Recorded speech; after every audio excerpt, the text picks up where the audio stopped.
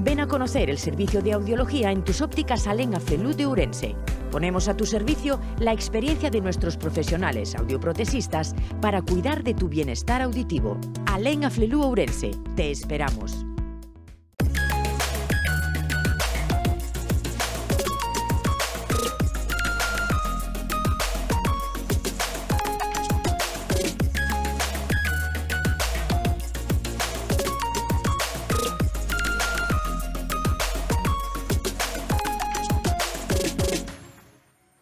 Hablamos ahora de Frunatur, una marca del Grupo Cuevas, también en el polígono industrial de San das Viñas. Se ha mudado y tiene ahora nuevas instalaciones. Grupo Cuevas da el pistoletazo de salida a una nueva y ampliada plataforma de distribución de frutas y hortalizas frescas en el polígono de San Cibrao das Viñas. Se trata de su unidad de negocio Frunatur, que tras casi 11 años en su actual ubicación, se reubica en la misma zona industrial, aunque con una importante ampliación de instalaciones tras una inversión de 3 millones de euros. La plataforma tiene 3.500 metros cuadrados frente a los 1.400 con los que operaba ahora. Está dotada de 10 muelles de carga y descarga que ocupan 624 metros cuadrados. Aumentan también el número y metraje dedicado a las cámaras de conservación, con una extensión total de 715 metros cuadrados y duplican los puestos informatizados para la preparación de pedidos. En el corazón de la edificación hay una cámara de transición, cinco cámaras de almacenaje, una zona de envasado, otra de picking y finalmente la de preparación de pedidos.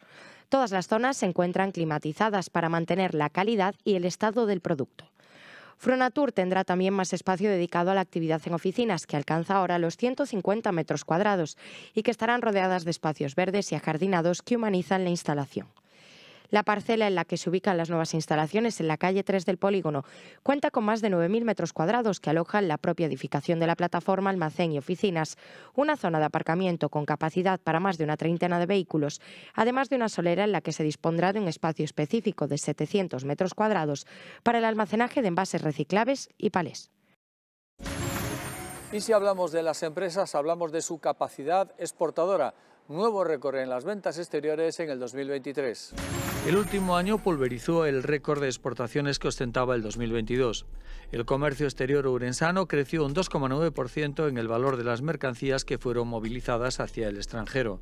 En total, se cruzaron a otros países bienes por un importe total de 1.262 millones de euros, dejando atrás el último máximo histórico de 1.226.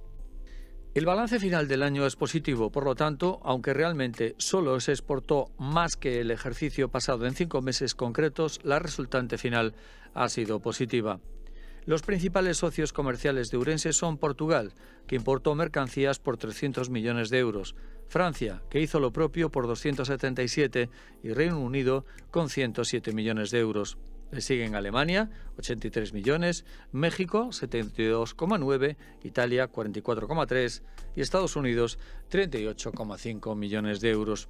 Los productos estrella que cruzan la frontera son las manufacturas de piedra, mayoritariamente la pizarra Valdeorresa, con 265 millones de euros, seguidas de las grasas y aceites animales y vegetales, 122 millones, las piezas mecánicas, 108 millones y las partes de los automóviles 89,6 millones de euros. El termalismo y la geotermia son siempre una potencia, por lo menos capacidades en la provincia de Urense tenemos. Hacemos un nuevo repaso a estos recursos y a sus posibilidades. El termalismo y la geotermia, recursos muy abundantes en la provincia, viven su particular estado de postración por la incapacidad oficial de diseñar planes concretos de aprovechamiento. No se ve en el horizonte iniciativa alguna que nos haga pensar que se saldrá de esta situación. Analizamos con Pedro Araujo, profesor de la Facultad de Ciencias del Campus y especialista en la materia, la actualidad del termalismo y la geotermia. Reconoce que lo importante es aprovechar el factor diferenciador de Urense. Mm, no, el factor termal es un factor diferenciador del entorno en el que nos encontramos, no solo del entorno más próximo, sino incluso a nivel peninsular, eh, podemos decir que es una marca eh, importante, eh, pero desde luego yo creo que Orense haría mal si centrara solamente su desarrollo en el termalismo. El termalismo es un factor importante, diferenciador, característico, puede ser de nuestro ser eh, ourensano, pero no puede ser únicamente, no va a ser, no va a ser, desde luego, no va a ser la marca solucionadora de todo el conjunto de, una sociedad mucho más compleja que la sociedad orensana. Casi siempre que se habla de termalismo en Ourense se alude al turismo, pero hay otras muchas variables que inciden en el sector y no se explotan, como las aguas minero-medicinales o la cosmética, por poner tan solo dos ejemplos. En ese sentido, por ejemplo, podemos decir que el campus universitario de Ourense se está moviendo eh, en esa dirección.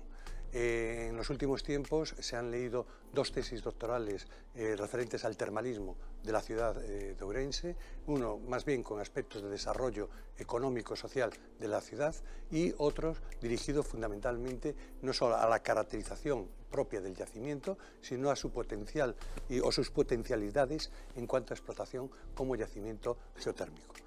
Pero no solo, no solo tenemos esos aspectos eh, desarrollados a través de lo que es un, estudio sesudo del termalismo, sino que también eh, en el campus hoy en día se está tratando de organizar un curso de especialización eh, en base a las características que comentabas de las aguas termales, es decir, ese potencial mineral, ese uso mineral de esas aguas, ese, eh, dentro del campo de la salud, dentro del campo de la cosmética, incluso dentro del campo o, aspectos geotérmicos del recurso que pueden dar una imagen y transmitir un, mejor una imagen de lo que es eh, el, recurso de la ciudad Orense y formar a futuros profesionales en ese campo del termalismo. Pedro Araujo defiende el papel de la universidad en el desarrollo del sector, implicándose con los organismos públicos o investigando a través de tesis doctorales. La universidad eh, hace poco se ha incluido en, la mesa termal de la Diputación, ha sido tenido en cuenta y por lo tanto imagino que el vicerrector del campus eh, está en, potenciar esa, eh, esa vía de comunicación. Pero además los diferentes profesionales que forman parte del claustro de profesores del campus, pues sí se conoce que, están muy relacionados con el mundo termal y sí les piden, sí se le pide eh, información, eh, opinión eh, para el desarrollo de este recurso. Sin embargo, la iniciativa privada llama a otras puertas de la universidad, sobre todo del área económica. Mm, menos, menos, menos. Menos en el sentido de, por ejemplo, si estamos hablando de, balnearios así, en, mi caso, desde luego, no tanto. Eh, quizás eh, sería más el campo eh, económico-social los que deberían de dar una, respuesta, porque bueno, el planteamiento de, la construcción de un balneario, el recurso lo tenemos, el valor del recurso también lo sabemos, lo que falta es la inversión y la inversión ya no es un campo eh, en donde yo personalmente o mis colaboradores podamos movernos, sino que son más bien de otros compañeros pertenecientes al, campo de, la economía eh, y al turismo que pueden eh, hablar en este sentido.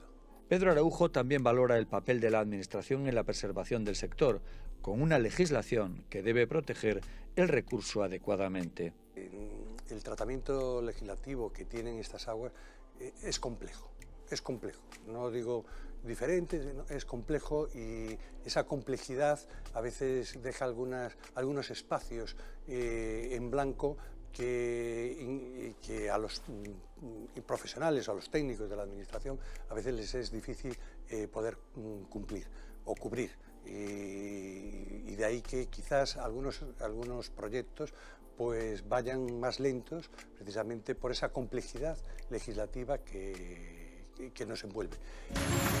Hasta aquí nuestro programa por esta semana. Como siempre, muchísimas gracias por habernos hecho compañía. A la vuelta de siete días, una nueva edición de Las Cuentas Claras. A disfrutar, amigos.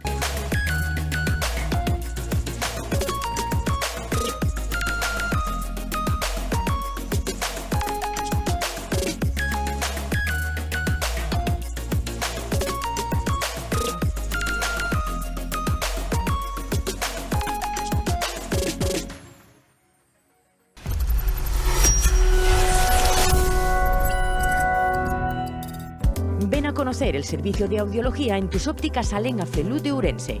Ponemos a tu servicio la experiencia de nuestros profesionales audioprotesistas para cuidar de tu bienestar auditivo. Alen Aflelú Ourense, te esperamos.